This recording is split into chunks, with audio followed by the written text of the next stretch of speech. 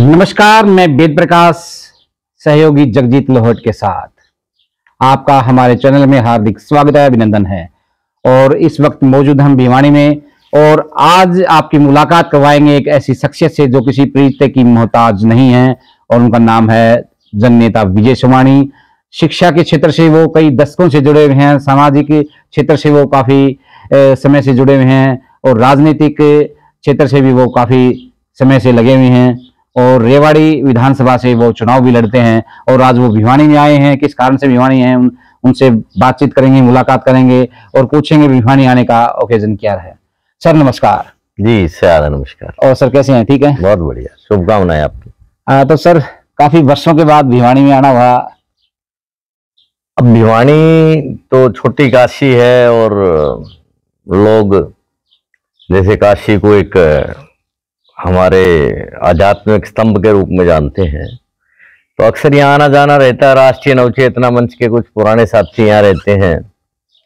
और अब चूँकि लोकतंत्र पर्व, लोकसभा चुनाव 2024 चल रहा है तो ऐसे में राष्ट्रीय नवचेतना मंच का एक सिलसिला हमने पूरे देश में, विशेष तौर पर हरियाणा के दस लोकसभा क्षेत्रों में लोगों को मतदाता जागरूकता अभियान 2024 के नाम से हम मुखातिब होते हैं। कल हमने दादरी के कुछ गाँव में, कस्बे में और आज भिवानी में और कल रात को हमने मीडिया सेंटर में इम्प्रूवमेंट ट्रस्ट के कार्यालय के पास वहाँ पर हमने रूबरू हुए और हमने समीक्षा की कि यहाँ पर कितने लोग चुनाव में लोकसभा में प्रत्याशित, प्रत्याशी हैं और उनका कैसा कैसा मुकाबला है। हम चूँकि दक्षिणी हरियाणा से संबंध रखते हैं तो हमारी जो मूलभूत समस्याएँ हैं बातें हैं हम लोगों को कहते हैं कि मतदान ज़रूर करना है। क्योंकि मतदान इस वक्त देखिए उनचास परसेंट तक आ गया। इसका मतलब आधे से ज़्यादा लोगों का मोह भंग हो गया चुनावी राजनीति से। क्या कारण था जी? क्यों कारण लोगों का राजनीति और राजनेताओं के प्रति उदासीनता अविश्वास। ये जो हालात हैं, ये प्रजातंत्र के लिए बहुत खतरनाक है। और ये, इसकी परिणति ये भी होती है कि डिक्टेटरशिप की ओर एक रास्ता खुलता है। तो लोग प्रजातंत्र से भाग जाएँगे, इसका मतलब लोग मानस और मन से प्रजातंत्र में यकीन नहीं करते। आज ये जो हालात हैं, क्यों हो गए? कि झूठ के आधार पर, जातिवाद के आधार पर, गुटबाजी के आधार पर लोग राजनीति करने लग गए। लोगों से वादे करते हैं, फिर जब सत्तासीन हो जाते हैं तो वादे भूल जाते हैं। नए लोगों को अवसर नहीं मिलने देते। जो पुराने लोग हैं वो टिके रहते हैं। यहाँ पर भी कई बार सांसद बने हैं एक एक व्यक्ति बने एक एक परिवार के लोग बने ऐसे में नए लोगों को मौका मिलना चाहिए और लोगों को मतदान करना चाहिए। जैसे एक विषय दक्षिण हरियाणा का मैं चर्चा में लाऊँगा, वो है जैसे एस वाई एल नहर है। एस वाई एल नहर का देखिए आप तीन बार हिंदुस्तान के सुप्रीम कोर्ट ऑफ़ इंडिया ने तीन बार ये बात कही है कि भाई भारत सरकार इस पर अपने संसाधनों से इस नहर को बनवाए जो पंजाब में बाकी है। अब उस पर कौन करेगा कार्रवाई? कौन अगवाही करेगा? कौन उसके लिए बात करेगा? भिवाणी का, महेंद्रगढ़ का गुरुग्राम का और फरीदाबाद का सांसद देश के प्रधानमंत्री से बात करेगा। तो ऐसा लग रहा है मतलब एसवाईएल का जब भी कुछ चुनाव आते हैं एस का मुद्दा मुद्दा बन जाता है। इसको भाषणों में बोला जाता है इसके बारे में ये करवाएँगे वो करवाएँगे। लेकिन आपकी बात जो चुनाव देखे जा रहे हैं जो भाषण हो रहे हैं चुनावी जो प्रक्रिया चल रही है उसमें एसवाईएल का कोई मुद्दा उठ नहीं रहा है। नहीं एसवाईएल मुद्दा नहीं है। एसवाईएल एक पानी का विषय है जो कि भिवानी दादरी रेवाड़ी गुड़गांवा और फरीदाबाद के लोगों की पानी की ज़रूरत है। हमारे क्षेत्र में रेवाड़ी ज़िले में तो कुछ जगह पर डार्क जोन डिक्लेयर कर दिया। लोगों को बोरिंग करने के लिए शासन प्रशासन ने मना कर दिया। और जो हमारा पानी का जो बंटवारा है, वो भी समानता के आधार पर नहीं। हमारे कई सिंचाई मंत्री बन जाते हैं, मैं नाम नहीं लेना चाहूँगा। लेकिन उनको शर्म नहीं आती कि भाई आप लोग जिस क्षेत्र का प्रतिनिधित्व करते हो जैसे पीछे मैंने राव इंद्रजीत सिंह को कहा टेलीफोन पर भाई आप चौधरी धर्मवीर सिंह को और कृष्णपाल गुर्जर मंत्री को लेकर नरेंद्र मोदी जी से मिलो और बात करो क्योंकि कई बार सुप्रीम कोर्ट हमारे हक में ये बात कह चुका है। हमने इस बारे में राष्ट्रीय नवचेतना मंच और किसान संघर्ष समिति के बैनर तले हमने पदयात्राएँ की है नारनौल से दिल्ली तक। हमने ज्ञापन दिए हैं भारत के जल संसाधन मंत्री को किसान आ, के जो उस टाइम आंदोलन था तो उस वक्त जो मंत्री थे नरेंद्र सिंह तोमर उनको सबको ज्ञापन दिए हैं। लेकिन जब तक जनप्रतिनिधि नहीं बात को आगे बढ़ाएँगे तो वो बात गौण हो जाती है। और ये मुद्दा नहीं है ये ज़रूरत है। सर बीजेपी और कांग्रेस को अपनी टिप्पणी के तौर पर कैसे तोड़ रहे हैं आप? किस तरह तोड़ रहे हैं? राजू बताइए आप। देखिए भारतीय जनता पार्टी ने दस साल राज कर लिया। और भारतीय जनता पार्टी के जो छत्रप हैं, उन लोगों ने जिस ढंग का कार्यशैली अपनाया, वो अपने आप में प्रश्न चिन्ह लगाता है। क्या वो युवाओं की बात रही? अग्निवीर योजना की बात रही? या किसानों की बात रही? महिलाओं को आरक्षण के लिए भारत के संसद में बिल लाया गया। और उसे ये कहकर कि ये फिर विधानसभाओं से गुजरता हुआ आएगा, फिर इसको लागू करेंगे। जबकि इस इस वक्त भी लागू किया जा सकता था? जहाँ पर धारा तीन सत्तर हटा दी गई। राम मंदिर का बड़ा विषय था, सुप्रीम कोर्ट के द्वारा सुलझा लिया गया। देश की, देश को चारों तरफ़ सड़कों से जोड़ दिया गया। ये सराहनीय काम रहे। लेकिन आप महँगाई पर बात करने को तैयार नहीं, आप बेरोजगारी पर बात करने को तैयार नहीं। आप हर समय एक ही भाषा, एक ही व्यवहार। ये हरियाणा कम से कम इस बात को पसंद नहीं करता। अच्छा तो ये बीपीएल परिवारों को जो फ्री में राशन दिया जा रहा है आप किस नज़रिए से देख रहे हैं? ये बीपीएल परिवारों लिए भलाई में है या फिर इनको कुछ मोहमाया लालच दिया जा रहा है? देखिए, जब आदमी को जो मूलभूत जरूरतें हैं, वो रोटी, कपड़ा और मकान है। और जब रोटी, कपड़ा और मकान की ज़रूरत खत्म हो जाएगी तो आदमी ना तो पुरुषार्थ करेगा, ना परमार्थ करेगा, ना मेहनत करेगा, ना मजदूरी करेगा, और निकम्मा हो जाएगा। उसको नेट फ्री दे दो, वो सारा दिन टेलीविज़न पर वो देखता रहेगा, वीडियो और वो। और फेसबुक पे करता रहेगा और खाने को रोटी मिल जाएगी। लेकिन ये इसकी परिणति ये होगी एक समय ऐसा आएगा कि निकम्मों की फौज तैयार हो जाएगी। अच्छा जो बीजेपी जो दावा कर रही है कि हम पूरी पूरी सीटें जीतेंगे कितनी निरर्थक है ये जो टिप्पणी इनके दावे हैं? देखिए देश में कड़ा मुकाबला है। हाँ कड़ा मुकाबला है एनडीए का इंडिया गठबंधन का। और जहाँ मैन टू मैन इलेक्शन है वन टू वन है वहाँ पर कैंडिडेट का चुनाव है ये, और जनता इसका फैसला करेगी। यानी अब की बार पार्टियों के तो निशान निशान है। जो जनता है, वो अपने अपने तरीके से अंडर करंट चुनाव को चला रही है। अब ये विषय नहीं रह गया है कि भाई कोई फला नेता आया और उसने भाषण दे दिया और उससे लोग भावुक हो गए। क्योंकि तो सोशल मीडिया इतना एक्टिवेट है कि लोगों को पूरे देश और दुनिया की खबरें पता लग जाती है। लोग पहले डिपेंड करते थे टीवी पर, अखबार पर। आ तो उसके हाथ में मोबाइल है उसी से सारी देश दुनिया की जानकारी होती है उनकी अपनी समस्याओं की जानकारी होती है।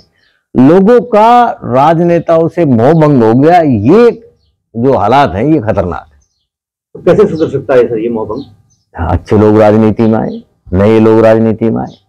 जात बिरादरी गुटबाजी से ऊपर उठकर लोग राजनेता लोग काम करें लेकिन लोग भी अपना फ़र्ज़ अदा करें। जहाँ अधिकार की बात है वहाँ कर्तव्य की बात भी होनी चाहिए।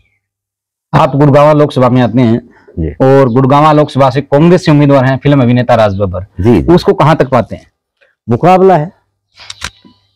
तगड़ा मुकाबला है। तगड़ा मुकाबला है। हाँ तो बराबर का मुकाबला। भिवानी चरखी दादरी में भी घूमे हैं तो भिवानी चरखी दादरी के जो कैंडिडेट हैं तो उनके बारे में क्या यहाँ भी यहाँ भी रावदान सिंह और चौधरी धर्मवीर सिंह का बराबर का मुकाबला है। चौधरी धर्मवीर सिंह को तो गाँव में लोग घुसने नहीं देते किसान नहीं घुसने देते। हाँ। जो उन्हीं की जाति के जो लोग हैं जाट समुदाय से वो गाँव में नहीं घुसने देते तो मुकाबला कैसे कर पाए हाँ तो फिर ये मान लें हम कि देखिए मुकाबला तो दोनों ही कैंडिडेट का है जैसा मैंने आकलन किया है। हम्म, लेकिन राव दान सिंह कहीं आगे चल रहे हैं। ऐसा लगता है कि लोगों ने मन बना रखा कि अब की बार परिवर्तन चाहेंगे। परिवर्तन। क्योंकि दो बार चौधरी धर्मवीर सिंह बन चुके हैं रावदान सिंह विधायक तो रहे लेकिन सांसद नहीं बने हैं। तो रावदान सिंह की कार्यशैली और व्यवहार जो है, उस पर डिपेंड करता है कि वो कितना लोगों को अप्रोच कर पाते हैं। वो सिर्फ़ यादव बिरादरी तक फंसे रहते हैं या छत्तीस बिरादरी के लोगों को अप्रोच करते हैं, लोगों को मिलते हैं, अपना एजेंडा लोगों को बताते हैं, फ़र्क बताएँगे कि मैं तो धर्मवीर सिंह के मुकाबले में इस तरीके से मैं आप लोगों के दुख सुख में साझी रहूँगा। जैसे एस वाई एल नहर का एक विषय है। हम्म, हम्म, हम्म। उस पर भी चौधरी रावदान सिंह को अपना स्पष्ट मैं ये राष्ट्रीय नवचेतना मंच के माध्यम से मांग करूँगा कि वो भी अपना वर्षन रखें कि कल को वो सांसद बनते हैं तो क्या वो इस भिवानी दादरी और महेंद्रगढ़ और इस इलाके को जो मूलभूत ज़रूरत है पानी की वो केवल किसानों के लिए नहीं बल्कि जनमानस के लिए। जब प्रोस्पेरिटी होती है तो सबके लिए होती है। तो उनको अपने मुद्दे साफ़ करने चाहिए जनता के बीच में और जनता को नए लोगों को मौका देना चलिए मुख्य रूप से देखा जा रहा है भिवानी के अंदर। जैसे रावदान सिंह को टिकट मिली है अभी। जी। तो ये जो किरण चौधरी जी की जो लड़की है श्रुति चौधरी जी उसको भी टिकट संभावना थी कि हम टिकट लेंगे। उनको आपके पास टिकट नहीं मिली है। तो क्या लगता है कि ये किरण चौधरी जी है श्रुति चौधरी समर्थन कर पाएगी दान सिंह रावदान सिंह का पूरी तरह से? देखिए दो चीज़ें होती है। एक आदमी की व्यक्तिगत कुंठाएँ होती हैं। और एक होती है सामाजिक और सार्वजनिक जीवन, और खासकर राजनीतिक लोगों का जीवन। और खासकर उन लोगों का जीवन जो पार्टियों से बंधे हुए लोग हैं। सामाजिक सरोकार रखने वाले लोग कभी भी किसी जायज़ को और नाजायज बात को अलग अलग कह सकते हैं। लेकिन जो पार्टी संगठन से बंधे हुए लोग हैं, चाहे उस फॉर्मर एमपी श्रुति चौधरी है, चाहे किरण चौधरी है, चाहे कोई और चौधरी है, उनको तो समर्थन व्यवहार से भी देना चाहिए, मदद करनी चाहिए। और नहीं करेंगे तो आने वाला समय फैसला करता है संगठन फैसले लेता है। हर पार्टी का अपना एक डेकोरम है अनुशासन समिति है और है तो ऐसे थोड़ी होता है कि जब तक उनको कुछ मिले तो ठीक और दूसरे को मौका मिले तो गलत ऐसा तो नहीं आप क्या चलता। चाहते हैं? मतलब इस चुनाव में किस आप ईवीएम मशीन के समर्थन में है या फिर बैलेट पेपर के समर्थन में है? देखिए ये जो विषय है ये सुप्रीम कोर्ट तक जा चुका है। सुप्रीम कोर्ट ऑफ़ इंडिया ने इस बात को अटेस्ट किया है कि ईवीएम में गड़बड़ी नहीं है, क्योंकि जो वीवीपैट करके ना एक जो पर्ची है, उसको अगर मतदाता चेक करता है, मैं अपनी वोट डालता हूँ और फिर उस पर्ची में टैली कर लेता हूँ जिस चुनाव चिन्ह पर मैंने क्लिक किया है, वो सही है। वैसे मतदाताओं को जागरूक होकर वोटिंग करना चाहिए, ज़्यादा ज़्यादा वोटिंग करना चाहिए। अपना वोट का जो वीवीपैट पर्ची है, उसको चेक करना चाहिए। शिक्षण शिक्षण संस्था के संस्था चलाते हैं सर आप शिक्षा के क्षेत्र में क्या चाहते हैं आप क्या क्या होना चाहिए देश में पूरे में एक जैसी शिक्षा व्यवस्था होनी चाहिए। सभी अलग अलग शिक्षाओं के बोर्ड अलग अलग संस्थाएँ बंद करके एक जैसी प्रथम क्लास से लेकर और पीजी कोर्स तक एक ही पाठ्यक्रम होना चाहिए एक ही मापदंड होना चाहिए ये जो फ़र्क है ये मूलभूत रूप से समाज में गरीब और अमीर का फ़र्क पैदा करता है जो कि शिक्षा के लिए ठीक नहीं है। पाठ्यक्रम से बराबर हो एक हो। एक सिर्फ़ एक होना चाहिए पूरे भारत में। क्या कितनी संभावना है? सौ परसेंट संभावना है कम संभावना है सौ से ऊपर संभावना है? देखो परिवर्तन प्रकृति का नियम है और परिवर्तन निश्चित रूप से होगा। नए लोगों को मौका मिलेगा नए लोगों को मौका मिलना चाहिए। राष्ट्रीय नवचेतना लोकसभा चुनाव में किसको सपोर्ट करेगी? हम व्यक्तिगत रूप से देखते हैं कि किस क्षेत्र में कौन कैंडिडेट उपयुक्त है कौन समाज हित की बात को सुन सकता है कौन हम कल को बनने के बाद राष्ट्रीय नवचेतना मंच के माध्यम से समाज की बातें उठाते रहे हैं। और जैसे मैंने आपसे निवेदन किया आज एस वाई एल का ही मुद्दा है मान लो वो भिवानी से शुरू होता है।